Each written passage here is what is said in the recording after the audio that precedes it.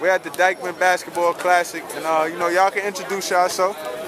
Randy Corporan, Wings Academy, point guard. Thadeus Hall Thomas Jefferson High School, South Carolina.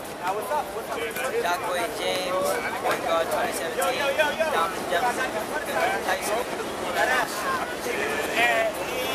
All right, and um, ending off your high school career, to, high school career tonight at Dyckman.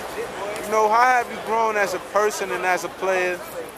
You know, you can let the people know. Uh, I say I'm more, more aggressive and I'm more mature now and I just know the game. I know the game now. Right, you know, and, and leaving New York City, man, going into college, you know, what have you learned, you know, on and off of the court in the New York City streets?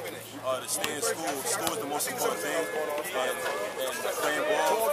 Me a free scholarship to South Carolina, so I tell these two right here and uh, other kids to they can follow my footsteps and get a free scholarship to the university.